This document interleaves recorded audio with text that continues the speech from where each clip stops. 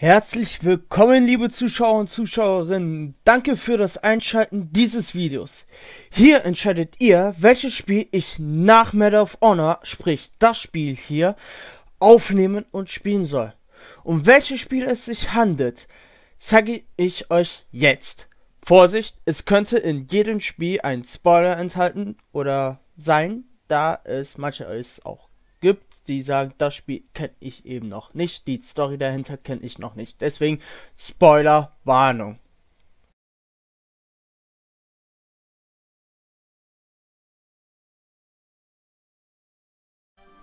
Nummer 1 Valkyria Chronicles.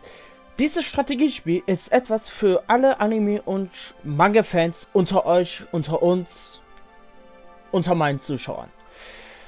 Es besitzt viel Potenzial und eine, eine gute Geschichte, die man dabei verfolgt. Dafür, dazu gibt es sogar nämlich äh, ein Anime, der sich auf dieses Spiel eben abzieht, also davon ableitet. Also die Geschichte, die hier im Spiel verfolgt wird, gibt es auch in einem Anime, auch mit demselben Namen Valkyria Chronicles. Wenn ihr wollt, dass ich dieses Spiel aufnehmen soll und spielen soll, so schreibt eine 1 für die Nummer 1 Valkyria Chronicles. Also einfach nur eine 1 in den Kommentaren.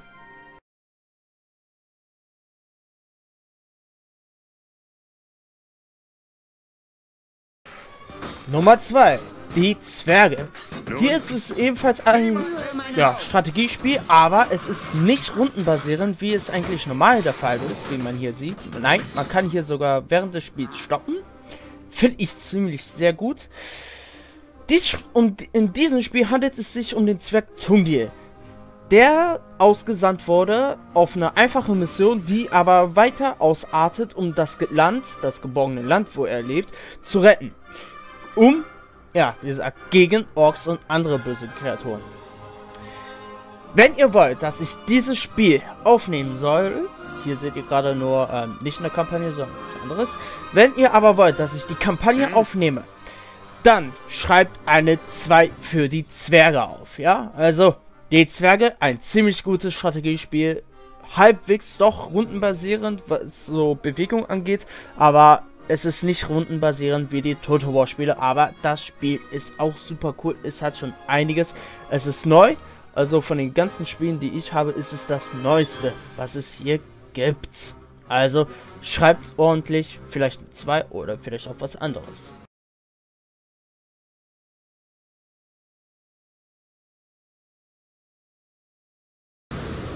Nummer 3, die Wargame-Trilogie. Von European Escalation über Airland Battle bis hin zu Red Dragon fordert dieses Spiel den Spieler geradezu zur Höchstleistung, was das Thema strategisches Denken, strategisches, strategisches Feingefühl und was all das weitere Thema beinhaltet, heraus. Denn wenn man einmal hier nicht richtig aufpasst, kann man ganz schnell eine ganze Kompanie oder ein ganzes Bataillon an Kämpfer verlieren und man kriegt sie gar nicht mehr wieder.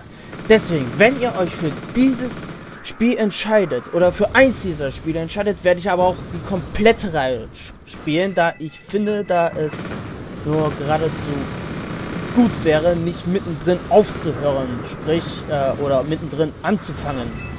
Sprich, irgendwie irgendwann mal in, ja, äh, in äh, Landbattle und ich spiele die anderen nicht. Also, die Story ist aber auch die, dass es, ähm, der dritte Weltkrieg ist 1978 ausgebrochen, nachdem ein Soldat der Grenzer aus der DDR nach Westen übergesprungen ist, wortwörtlich, und ähm, dabei ein paar seiner Kameraden, die ihn aufhalten wollten, erschossen hat. Und deswegen ist ein dritter Weltkrieg ausgebrochen, da nämlich die DDR ihn zurückverlangt hat. Man spielt nicht ein einzige, ähm, eine einzige Nation, wie zum Beispiel hier, oder Armee besser gesagt, wie zum Beispiel die MVA oder die Bundeswehr. Nein, man spielt alle.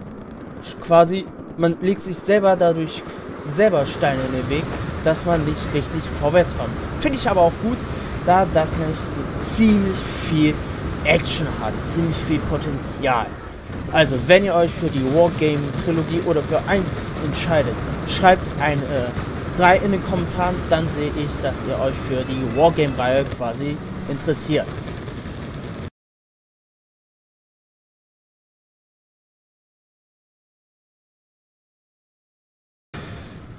Nummer 4 Empire Tour. Egal ob Preußen, Russland, Schweden oder das Mahatmenreich. Von 1700 an sind viele historische Imperien entstanden und wieder gefallen. Dieses rundenbasierende Strategiespiel bietet so viele Möglichkeiten an Kampagnen, wie zum Beispiel die Unabhängigkeit der Vereinigten Staaten, beginnt mit den 13 Kolonien. Oder als einer der Indianerstämme, die ganz, mit dem man ganz Nordamerika erobern kann. Dennoch, was wollt ihr? Also wenn ihr dieses Spiel gesehen haben wollt, dass ich das Spiel spiele, schreibt es als Nummer 4 in den Kommentaren. Und welche Art von Kampagne, sprich normale Unabhängigkeit oder die der Indianer, sprich Kriegsfall. Schreibt das ordentlich unten in den Kommentaren. Wenn das das Spiel ist mit den meisten Aufforderungen, werde ich dieses spielen.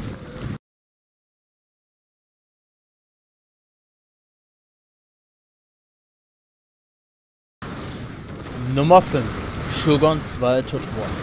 Die Samurai stellten schon seit Jahrtausenden die Elite-Krieger Japans und gelten bis heute als die besten Krieger der Welt.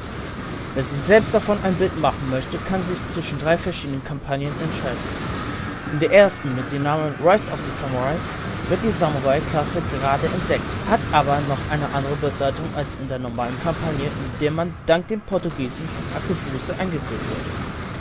Die letzte Auswahl mit dem Titel Fall of the Samurai kann man aussuchen, ob man den Samurais bei ihrem letzten Kampf beisteht oder aber eben diese zu Fall bringt.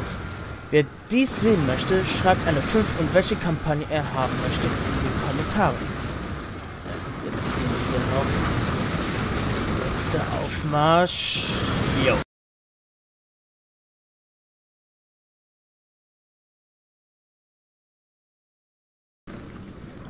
Nummer 6. Napoleon Total War. Frankreich hatte bekanntlich unter Napoleon so gut wie ganz Europa erobert. Auch bei diesem rundenbasierenden Strategiespiel hat man eine gewisse Auswahl an Kampagnen, wie die spanische oder Napoleon selber. Doch kann man auch als Preußen, Österreich, England oder Russland seine Armee mobil machen und in der Koalitionskampagne gegen Napoleon antreten. Auch hier gilt für diejenigen, die sich dafür interessieren, eine 6 und welche Kampagnenart man haben möchte, in den Kommentaren zu schreiben. Hier sehen wir, so sind wir einfach mal geschossen. Uah.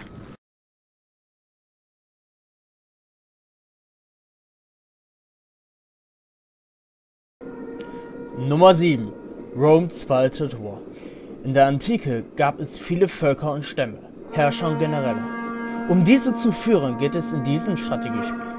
Es verspricht mit Zorn Spartas, Caesar in Gallien, Hannibal vor den Toren, Kaiser Augustus und der normalen großen Kampagne eine Vielzahl an Auswahlmöglichkeiten, welche zu spielen sind.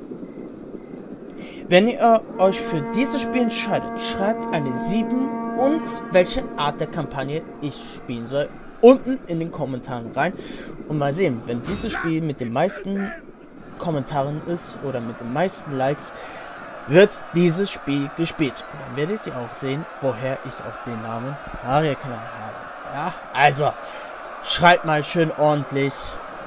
Ciao.